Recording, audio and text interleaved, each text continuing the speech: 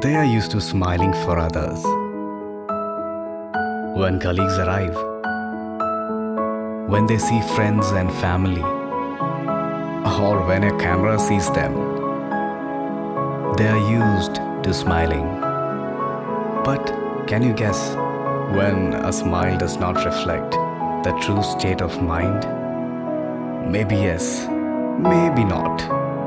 But let's not guess and be kind, compassionate, and let others know that I am there for you.